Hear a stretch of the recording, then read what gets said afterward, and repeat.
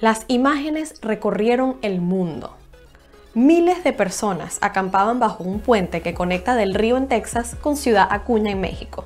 Esos migrantes buscando refugio provenían de Haití, Cuba, Perú, Venezuela, Nicaragua y otros países en crisis. Muchos haitianos se fueron tras el terremoto que devastó Haití en el 2010.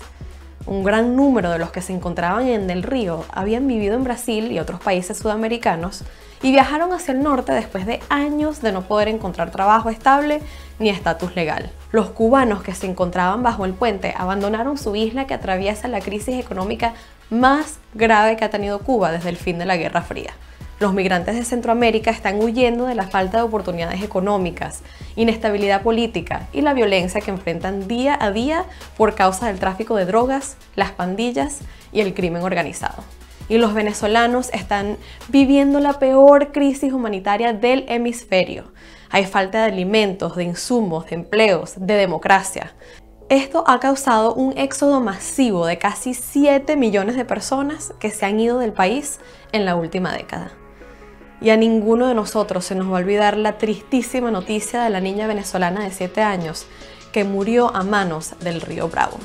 Muchas migrantes que vemos en esta hazaña por una vida mejor son mujeres intentando escapar de la violencia de género y personas LGTBQIA que huyen de la persecución. Para llegar a Texas realizaron una de las travesías migratorias más difíciles de América Latina, cruzar la densa selva del Darién entre Colombia y Panamá a pie, y después un río déspota del que muchos nunca salen.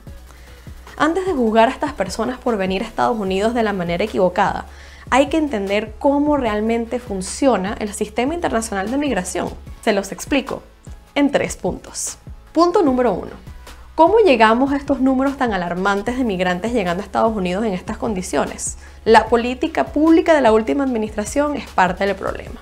Durante la presidencia de Trump, la política Remain in Mexico o Quédate en México devolvía a cualquier inmigrante, incluyendo a los niños, a México mientras esperaban la primera audiencia en una corte de Estados Unidos para presentar su caso de asilo. Otra medida creada bajo la administración Trump por el Centro de Control y Prevención de Enfermedades, la CDC por sus siglas en inglés, es el Título 42, un decreto que expulsó y deportó a México a todas las personas que representaban un riesgo para la salud pública durante la pandemia pero había poca información sobre qué exactamente los catalogaba como riesgosos. Eso causó que miles de migrantes se quedaran estancados en México. Cabe destacar que México no está aceptando a los deportados que no tienen nacionalidad mexicana. Por eso muchos de estos migrantes vivían escondidos bajo puentes, tratando de esquivar a los carteles y otras bandas criminales. La organización Human Rights First reporta que en los últimos meses hubo más de 1.500 asaltos, secuestros, violaciones y amenazas de muerte contra migrantes deportados de Estados Unidos.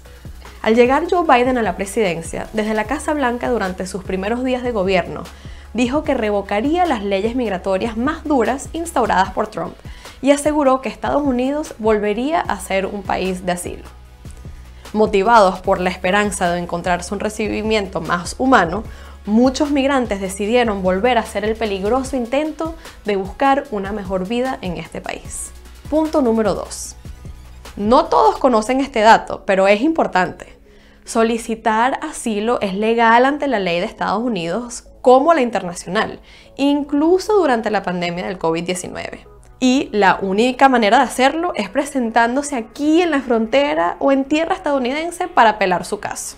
Esas son las normas internacionales que deben seguir los migrantes que deciden volverlo a intentar. Las personas que llegan a Estados Unidos tienen el derecho a solicitar asilo sin ser criminalizadas, regresadas a sus países o separadas de sus familias. Los solicitantes de asilo deberían ser procesados de manera eficiente y digna. Buscar asilo es un derecho humano y por eso tantos escogen hacerlo, aunque sus vidas peligren. Punto número 3. Mantener el orden en la frontera y ser un país que le da la bienvenida a las personas necesitadas se pueden lograr a la vez. Los Estados Unidos, la primera potencia mundial, es un país rico en recursos y valores democráticos que tiene la capacidad para tratar a los solicitantes de asilo de manera humana. Por ende, hay mucho que podemos hacer para mejorar esta crisis migratoria. Una, Ampliar urgentemente las alianzas con organizaciones humanitarias en ambos lados de la frontera que puedan ayudar a los solicitantes de asilo. 2. Detener el uso de los programas Quédate en México y Título 42 que regresa a solicitantes de asilo a México. Y 3 Enviar más ayuda humanitaria a Centro, Sudamérica y Haití para abordar la crisis desde sus raíces y así evitar que nuestra gente emprenda el peligroso viaje a Estados Unidos. Nadie se va de su país porque quiere. Se van porque están buscando un mejor futuro para su familia. Seguramente tú, tus padres o tus abuelos son inmigrantes también. Y seguramente salieron adelante gracias a un país amigo que les dio la bienvenida. Estados Unidos tiene el deber de ser ese país amigo. Tenemos la responsabilidad de proteger nuestra frontera mientras tratamos a todo migrante que quiera solicitar su proceso de asilo con respeto y empatía. Ellos también tienen el derecho de buscar el sueño americano. Nos vemos en otra entrega de En Tres Puntos, aquí por BPI TV, en vivo siempre.